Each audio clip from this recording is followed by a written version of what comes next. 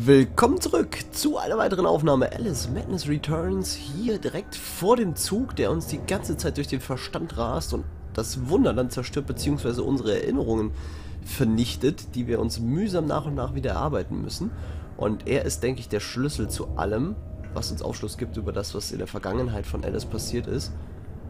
Und wir gucken, dass wir da jetzt auf den besten Weg hinkommen. Und wir lassen uns von nichts aufhalten. Na gut, zwischendrin vielleicht schon mal, aber äh, wir geben unser Bestes auf jeden Fall. Okay. Einmal der Ladescreen.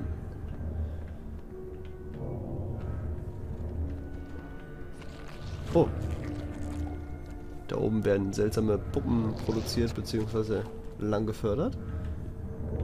Mhm. Ja, kommt her, meine Freunde. Kein Problem mehr. Euch mag ich einfach nicht. Hässliche Quallen. Ah, da sind natürlich wieder zwei. Na, wo ist die zweite? Da? Na komm, schnell, zeig dir nicht. Ja. So mag ich dich.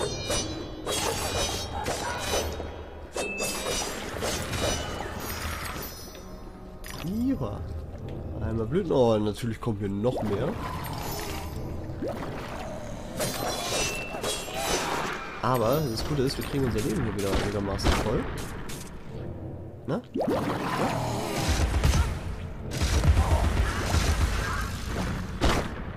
Ich sehe mal wieder viel. Seht ihr, was ich meine mit der Kampfkamera? Das ist super. Nun gut, die haben wir Lücke, da komme ich aber nicht durch. Nein, schade. Dass die Puppenproduktion ist hier, ich weiß es nicht. Was haben wir hier? Das menschliche Gehirn dargestellt. Oh! Mit einem Baby drin. Äh, interessant. Na gut, gehen wir über die Fleischschubladen direkt mal hier weiter. Und schauen mal, da drüben ist eine Erinnerung, die ich natürlich mitnehmen möchte. Also mal gucken, wie wir da rankommen. Nun gut. Was ist da unten? Da unten sind auch verschiedene Gänge, beziehungsweise Förderapparaturen. Einmal hier rein. Und zur Erinnerung, hoffe ich. Ich vermute aber doch sehr stark. Ich bin kein Spielzeug. Er verlangte Dinge von mir, die ich nicht tun wollte. Dr. Bambi. Hundertprozentig Dr. Bambi. Und ich vermute, dass er dazu... Oder dass er die Schwester von Alice, die Lizzie heißt sie, glaube ich, dazu gezwungen hat, irgendwas zu tun, was sie nicht wollte. Und sie wollte am Schluss auspacken. Und das war dann die Kurzschlussreaktion von dem Doktor, als er noch Student war. Die ganze Familie auszulöschen, beziehungsweise sie. Vielleicht war es gar nicht sein Ziel, die ganze Familie zu töten, aber da ist es am Ende drauf rausgelaufen. Ja, ich, ich vermute sowas. Aber genaueres werden wir noch erfahren.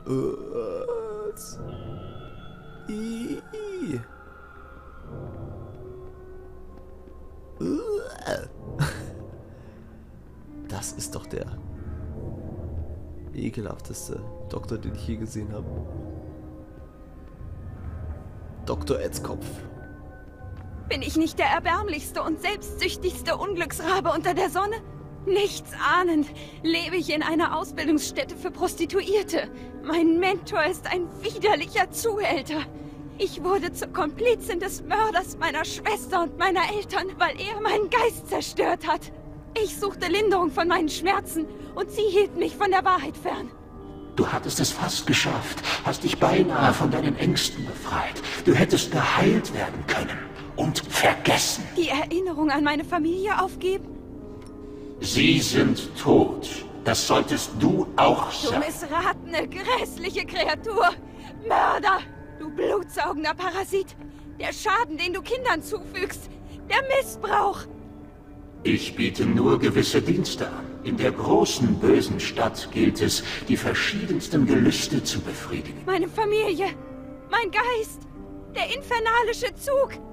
Der Zug ist deine Erfindung, deine Verteidigung. Ich lege nur den Fahrplan und die Reiseroute fest. Der Zug rollt heran mit glänzenden Wagen, mit weichen Sitzen und funkelnden Narben. Still, meine Kleinen, Angst ist unangebracht. Der Mann im Mond hat dies Wunder erdacht.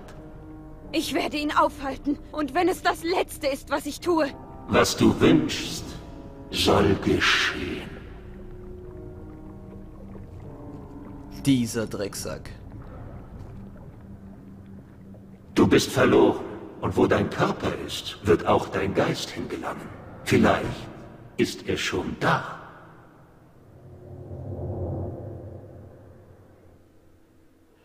Dieser Drecksack gibt Kinder zur Prostitu äh, Prostitution frei und beeinflusst sie auch noch psychologisch, dass sie sich selber nicht dran erinnern bzw. es verdrängen.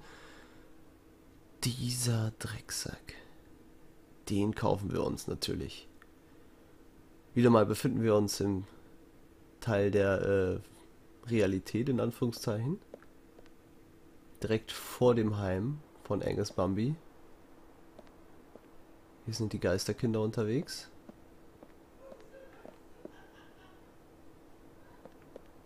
Und es schneit.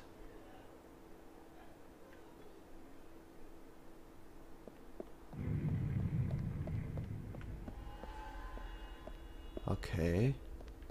Hier ist die Underground, denke ich. Sie sind die suppende Wunde der Verdorbenheit.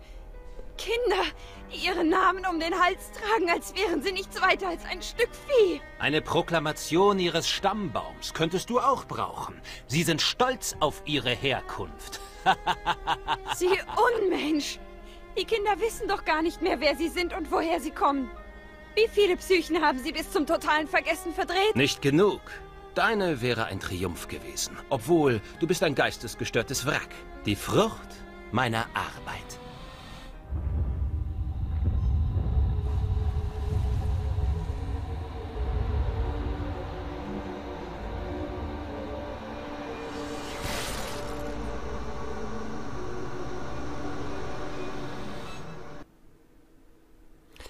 Alice scheint sich zu befreien. Von dem Ganzen. Und wir wissen endlich, was passiert ist, was es mit dem Ganzen auf sich hat. Und jetzt ist es an uns, die letzten Schritte zu gehen, zu schauen, dass wir die Leute zur Rechenschaft ziehen. Und wir befinden uns direkt auf dem Zug Mutmacher! Ich muss den infernalischen Zug stoppen und das Böse, was ihn antreibt. Ein wenig selbstfixiert das Fräulein, wie? Erst die Suche voller Furcht und Fragmenterinnerungen. Jetzt ist es der Zug. Nie Zeit für den Tee. Während dein Gehirn Urlaub macht, gehen wir unter. Nun dürfen Verrückte wie wir endlich in einer Teekanne in die Hölle fahren. Darf aber nicht vergessen, was die eigenen Sinne gesehen haben. Vergessen ist einfach vergessen, es sei denn, das ist es nicht, dann heißt es an. Ich würde gern vergessen, was du getan hast. Ich hab's versucht, Katze. Sie haben mich benutzt und missbraucht, aber zerstören können sie mich nicht. Nicht? Es ist nicht mehr zu ändern. Die alte Alice und ihre Wunderland-Zuflucht sind vernichtet. Du kannst nicht mal erkennen, was geschehen ist. Und du bist machtlos, kannst es weder ändern noch gegen mich vorgehen. Dafür habe ich gesorgt. Holst du dir nun deine Strafe ab? Ich weiß, ich trage eine gewisse Schuld, aber Bestrafung ist nie den Opfern des Verbrechens dienlich. Missbrauch ist ein Verbrechen der Starken an den Schwachen. Du hast recht, die Täter werden nie genug bestraft für den Schaden, den sie anrichten. Wer Zeuge von Missbrauch wird und den Opfern nicht beisteht, zahlt eine Strafe. Dein Schmerz mildert dein Vergehen, nicht früher eingegriffen zu haben. Aber vielleicht hast du noch nicht genug bezahlt für den Schmerz der anderen.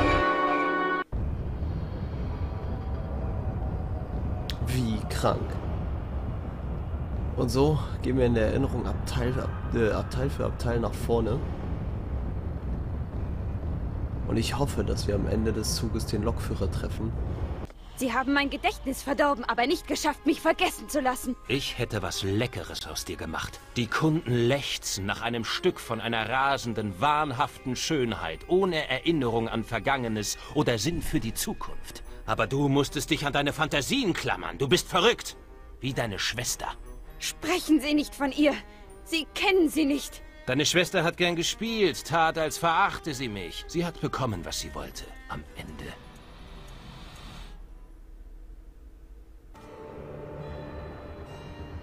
Meine Lizzie, was ist das Ziel dieses Zugs? Wahnsinn und Zerstörung. Du solltest keine Fragen stellen, deren Antworten du kennst. Das ist nicht höflich. Und das Geräusch? Lizzie, wie sie im Schlaf wünsche. Oh, nein! Arme Lizzie! Und es gibt keine Zentauren in Oxford. Lass dein Überleben einen Sinn haben, sonst sind wir alle verloren. Ach du Schande. In mir bauen sich gerade unendliche Rachegefühle auf. Es wird Zeit, dem Ganzen endlich ein Ende zu setzen. Alice endlich ihren Frieden geben zu können. Und wir gehen weiter im Zug der Erinnerung.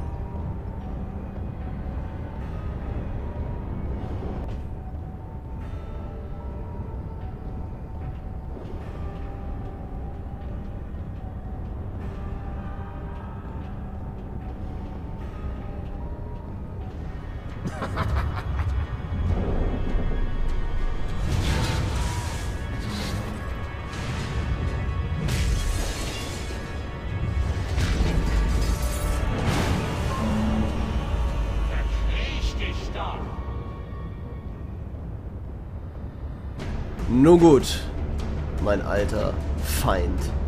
Die Hand des Todes, die wir schon mehrfach gesehen haben. Endlich wissen wir, zu wem sie gehört.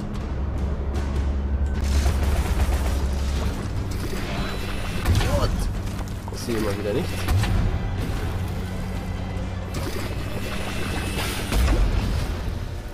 Okay, wir müssen warten, bis die Puppenhand oder der Puppenkopf weiß wird.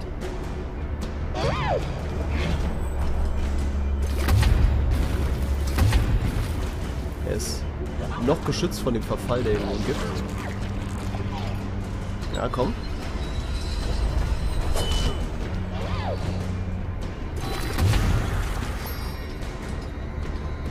Ist immer wieder nichts.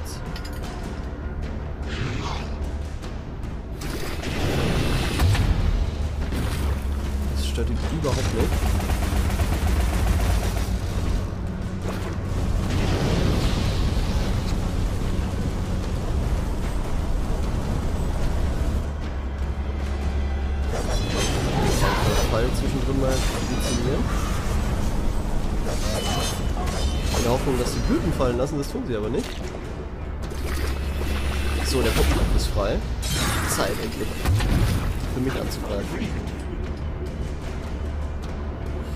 Oh mein Gott.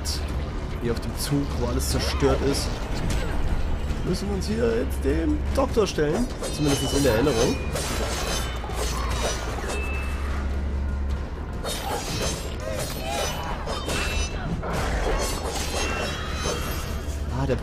Frei. Na, das hat leider nicht mehr funktioniert.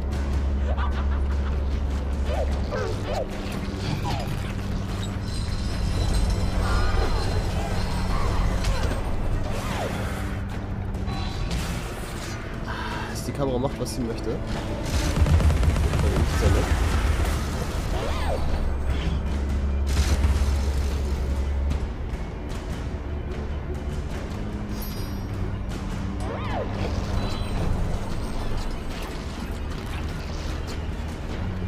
Schleichender Verfall auf, der unsere Gedanken vergiftet hat, unsere Erinnerungen vernichtet.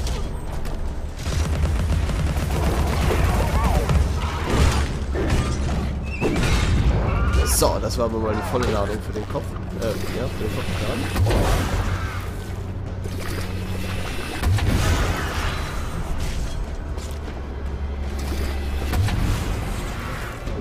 Blüte fallen lässt. Dankeschön. Oh, da kommt jetzt rein. Konnte man leider nicht sehen, dank dem super Kampfsystem. Und ich vermute, jetzt kommt wieder schleichender Verfall.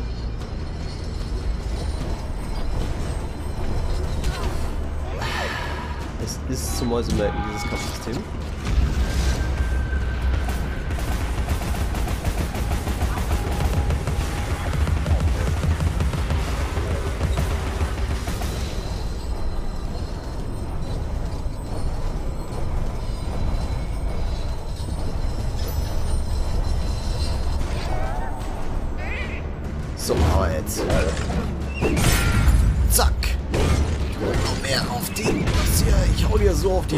Du verdammter Drecksack, du Blöder. Entschuldigung für die Ausdrücke, aber ich muss hier leider ein bisschen freien Lauf lassen. Äh, ich hänge in der Ecke fest.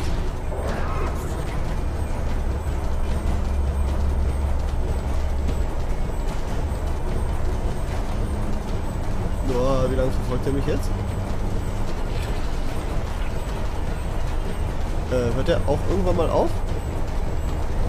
Äh, ich hatte eine Idee. Aber äh, so schnell bin ich jetzt nicht. Die Hand ist mir zu schnell. Ah.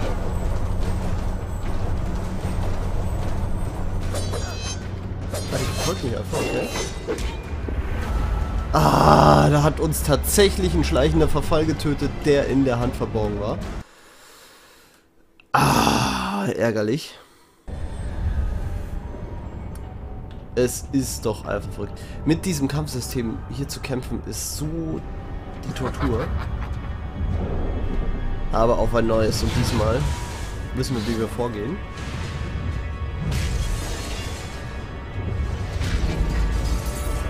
Und diesmal wirst du uns nicht schlagen.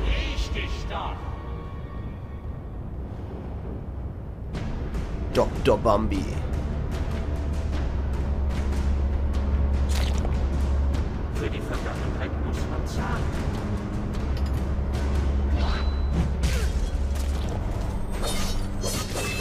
Mit der Warpal-Klinge versuchen wir uns hier. Und machen ordentlich Schaden an der Hand. Wir haben leider keine Leistung zu sehen, wie weit wir da schon gut Schaden drin gemacht haben. Aber ich denke, das war schon ganz ordentlich. Hier überall die Fäden, die das Ganze steuern. Schön dargestellt eben, wie er versucht hat, unseren Wahnsinn auszulösen in Form dieser Fäden. Ja, da war mal wieder keine Chance. Sehen können.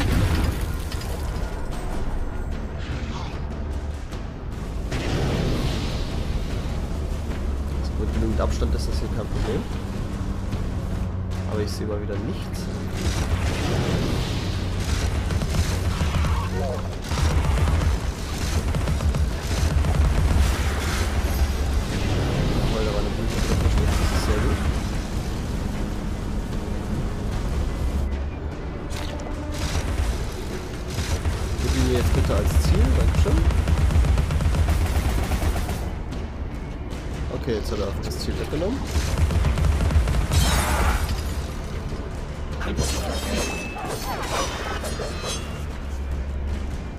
Der Duracell-Hase tut natürlich auch seinen Teil, das ist sehr gut.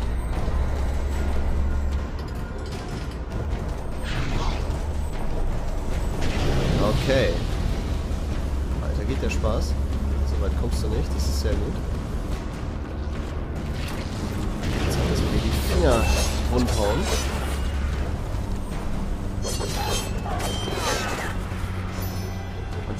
diesmal wird uns kein schleichender Verfall. Das ganze Spiel eigentlich kein Problem war, nur hier auf einmal uns tatsächlich das Leben gekostet haben. Mir ein gutes Ziel.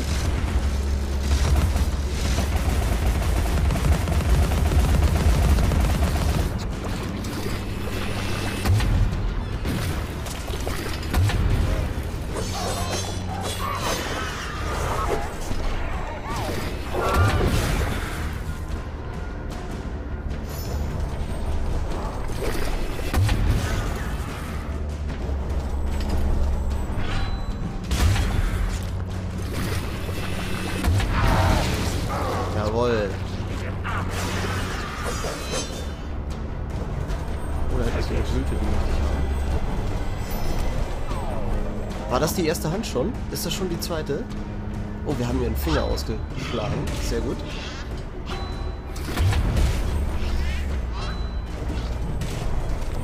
sehe nichts.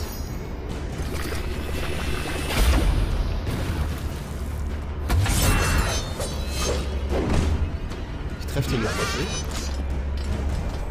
Okay, und weitere Finger wird es dich auch kosten, mein Freund. Das war bei weitem noch nicht alles, was wir können. Nur gut. Trau dich doch. Zeig doch mal dein Fingerchen.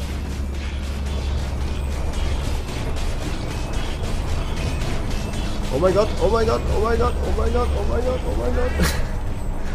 Huhu.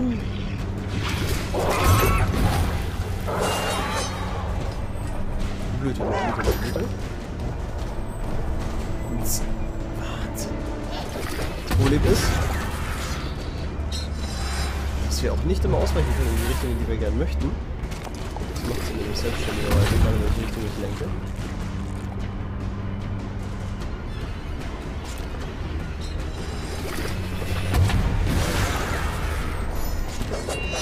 Jawohl, da war wieder eine Blüte dabei. Das kann ich das ja jetzt ins Ziel hin. Jawohl. Hat mich frei.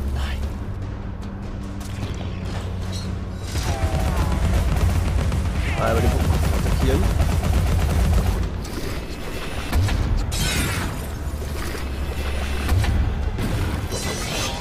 So, das war ordentlich. Ja klar, kommt jetzt auch so einer dazu. Der hat nicht damit gerechnet. Nehmen wir mal ein richtiges Ziel. So,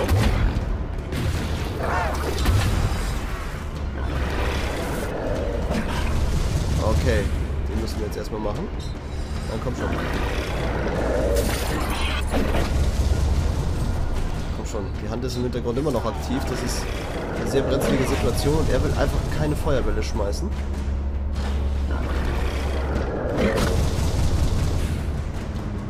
Komm schon, mein Freund, tu es.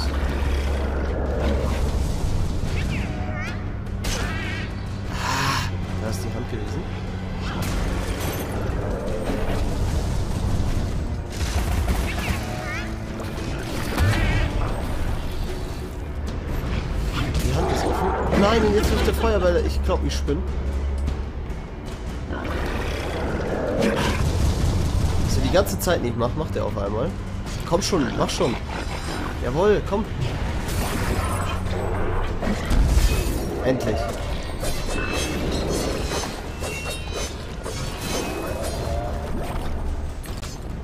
Leider keine Blüte dabei. Aber egal. Wir stellen uns die Hand trotzdem, die jetzt wieder freigelegt ist.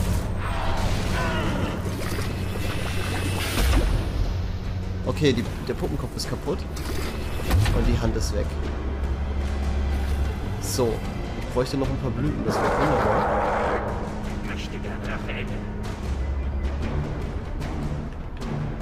Okay.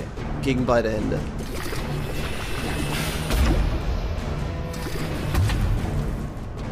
Wir kümmern uns erst um die linke. Das ist seine rechte. Nein! Nein! Lass mich in Ruhe.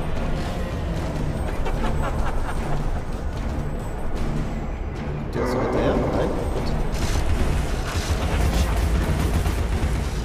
Das ist nicht, was wir jetzt machen können. Oh. Irgendwie hat er Ungutes vor. Ah, da vorne. Sehr gut. Da sind die Pumpen.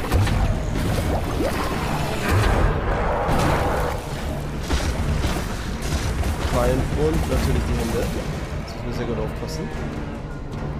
Wir auch hinlaufen. Wir werden schon wieder greifen.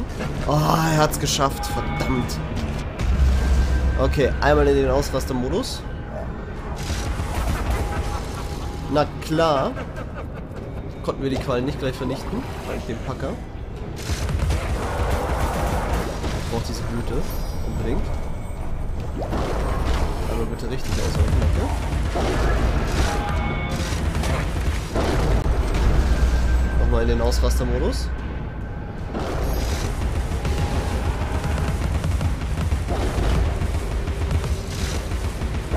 Und einfach mal voll durchziehen auf die Puppen aus seiner Zunge. Puppenköpfe. Okay. Wir müssen weiterhin ausweichen. Wir haben nur noch anderthalb Blüten. Sehr gefährlich. Okay. Okay, er hat uns nicht gekriegt. Das ärgert ihn. Jetzt kommt die zweite Hand, der müssen wir auch noch gut ausweichen. Trotz Ausweichen hat die uns gekriegt und vernichtet. Ah. Der Wahnsinn. Der Wahnsinn. Ah gut, wir können aber hier gleich wieder einsteigen, das ist sehr gut. Hätte ich das nochmal alles machen müssen wir das. Echt erbärmlich gewesen. Nur gut, ich weiß nicht, wie viel Leben wir haben. Wir werden es aber nachher sehen. Ich hoffe, wir sind voll. Da hängst du wieder in der Ecke fest. Sehr schön. Ich liebe diese Spiele mit solchen Funktionen.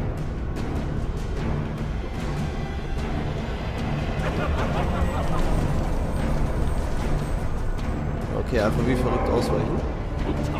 So, jetzt müssten gleich die Quallen kommen, vermutlich.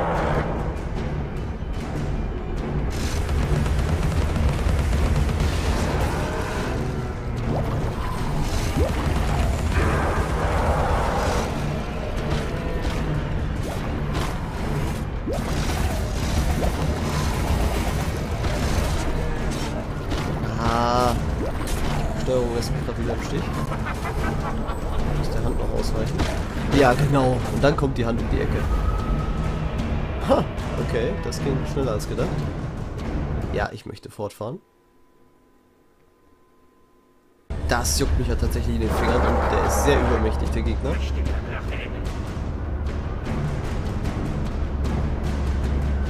So.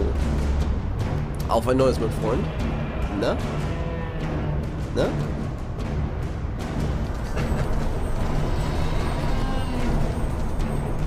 Okay, diesmal hat er uns dann nicht erwischt. Wir haben das Weg. So, die nächste Hand kommt. Hat uns auch nicht erwischt, sehr gut. Jetzt einmal gleich nach vorne. Wir wissen, jetzt spuckt er die Zunge aus.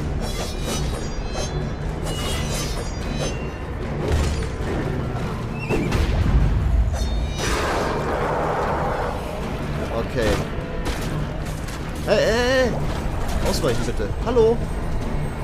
Gibt's ja nicht.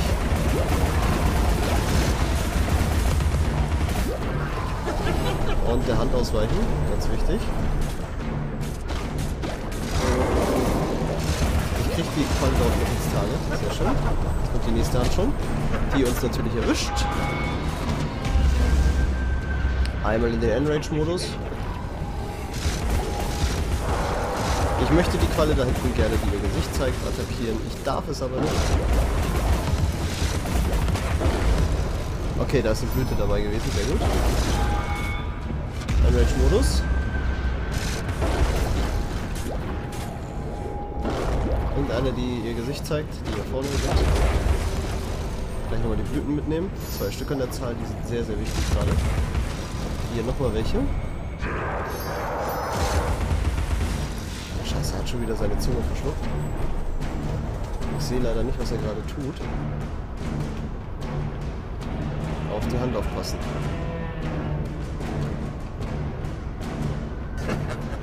Gut, die hat mich nicht erwischt. Ah, dann kommt sie doch nochmal angecharged. Verdammt. Gut, die zweite Hand ist auch unterwegs.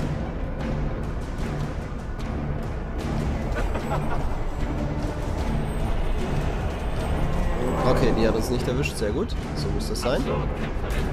Spuck nur deine Zunge aus. Jawohl. Was machen wir jetzt mit der? Ich richte da mehr Schaden an. Einmal Gesichter zeigen bitte. Sehr schön.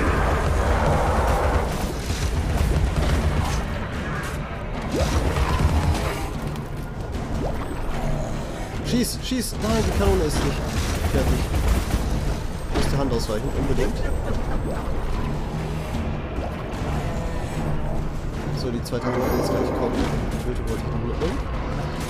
Und da ist die zweite Hand unterwegs.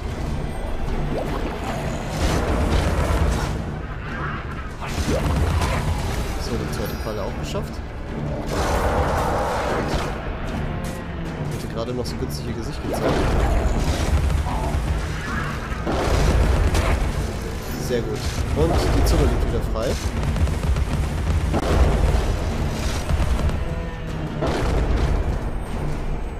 Spraykanone kommt.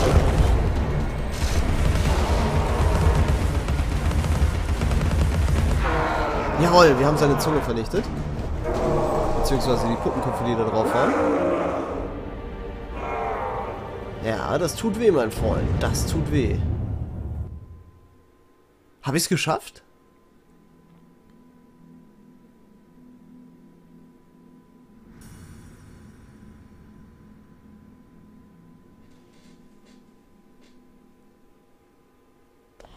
Ich bring dich in den Knast. Und da wird dich irgend so ein tumber Schläger zu seinem Schatz machen. Und dann wirst du hängen. Wirklich? Eine hysterische Frau, ex-irre, brüllt unglaubliche Anschuldigungen gegen einen respektierten Sozialarchitekten und Wissenschaftler. Mein Gott, Alice, wem würdest du glauben? Ich kann es ja selbst kaum glauben. Du monströse Kreatur. Solche Bosheit wird bestraft. Von wem? Von was? Psychotische blöde Kuh. Dein Wahnsinn wird bestraft werden. Jetzt geh. Ich erwarte deinen Ersatz.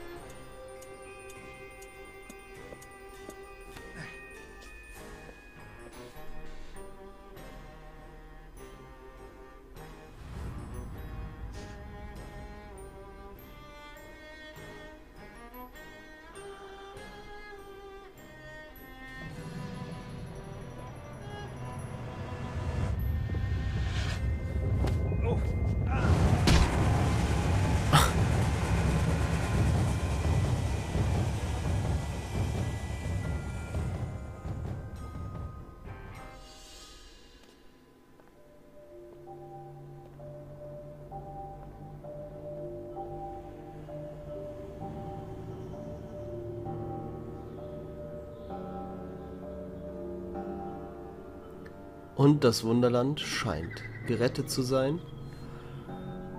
Und am Schluss war es der Zug, der dem Ganzen auch ein Ende gemacht hat. Sehr nette Idee, wie ich finde. Aber Alice befindet sich wieder in ihrer Welt.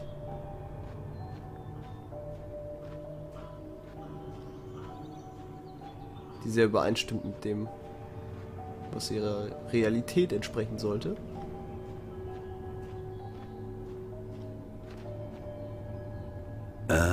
Alice. Wir können nicht wieder heim. Keine große Überraschung. Nur wenige finden den Weg, die meisten merken es nicht, wenn sie's tun. Illusionen sind hartnäckig. Nur Barbaren betrachten das Ertragen von Schmerz als Maßstab des eigenen Werts. Schmerz zu vergessen ist bequem. Ihn zu erinnern ist qualvoll. Aber für die Wahrheit lohnt sich das Leiden. Und unser Wunderland, obgleich beschädigt, ist in unserer Erinnerung sicher. Einstweilen. Ja, liebe Freunde, wir haben es tatsächlich geschafft. Das war Alice Madness Returns. Ich möchte mich an dieser Stelle ganz klar bei euch bedanken. Ein insgesamt wunderbares Spiel. Leider mit einem nicht so ganz so wunderbaren Kampfsystem, muss ich leider sagen. Die Kameraführung war manchmal ein bisschen schwer. Aber ansonsten, die Geschichte, die dahinter steht, die Aufmachung ist einfach wunderbar gewesen. Sehr krank, muss man wirklich sagen, psychologisch angelegt. Und aber doch auf der Art und Weise, wie die Geschichte erzählt wird, hochinteressant. Das ist, dieses Spiel hat die ganze Zeit einen Spannungsbogen aufgebaut, uns die ganze Zeit hingehalten. Wir wollten natürlich wissen, was ist passiert, warum ist es passiert. Ist Alice an den Geschehnissen schuld gewesen? War es jemand anderes? Alles so haben wir im Spiel nur häppchenweise immer mitgekriegt und mitbekommen. Aber jede Happen, die wir gekriegt haben, haben wir natürlich mit höchster Neugier dann auch äh, aufgenommen. Und ja, es war wirklich alles dabei. Auch die ganzen Wunderland-Figuren. Sprich, auch wie wir direkt am Anfang in, ins Wunderland gekommen sind. Natürlich die wunderbare, ganze fabelhafte Welt, die dann nach und nach zerbricht, einfach aufgrund der Erinnerungen, die Alice hatte, beziehungsweise äh, versucht hat wieder aufzuarbeiten. Der Hutmacher direkt dabei, die Herzogin war am Start. Natürlich die Teeparty nicht zu vergessen mit dem Mäuserich und dem Hasen, wo wir ganz am Anfang drin waren, um dem Hutmacher seine Teile wieder zu finden, beziehungsweise seine Arme und Beine. Ja, Wirklich Wahnsinn. Auch die Raupe, die wir dann in der Welt getroffen haben, die uns erstmal geschrumpft hat, uns erstmal durch die schöne japanische Welt geführt hat und nicht zu vergessen das Bere äh, den Bereich der Herzkönigin mit den Karten, was ich auch sehr schön fand, einfach dadurch, dass uns der Weg bereitet worden ist durch die fliegenden Karten, die kamen. Doch wirklich sehr, sehr gut. Aber was mich jetzt im Nachhinein natürlich brennend interessieren würde, wäre, was wird jetzt mit Alice? Wie geht's weiter? Kommt sie jetzt ins Gefängnis wegen Mord? Kommt sie in die Anstalt? Weil sie wirklich noch als wahnsinnig abgestempelt wurde oder ist? Aber ist schon, ist schon eine sehr, sehr heftige Story. Also was uns da auch der Dr. Bambi angetan hat, eben mit der Klapse, wo wir drin waren. Dass er eben die Kinder prostituiert hat. Deswegen auch direkt zu Beginn auch die Nummern bei den Kindern eben was ja wirklich sehr, sehr heftig war. Und ich denke, dass eben Lizzie, die Schwester von Alice, am Anfang doch wirklich der Beginn des Ganzen war, wo er sich als Student dieses ganze Konzept ausgedacht hat, beziehungsweise damit begonnen hat. Und weil es wahrscheinlich fehlgeschlagen ist oder aus irgendwelchen anderen Gründen, warum auch immer, musste er Alice Familie dann auslöschen, beziehungsweise Lizzie eben auch vorher schon töten. Aber letztendlich konnten wir ja Rache nehmen an dem was ja echt absolut klasse war durch den Zug, der ja sinnbildlich in ihrer Vergangenheit, äh, in ihrer Erinnerung, äh, durch ihre, ja, Wunderland geheizt ist und da alles zerstört hat.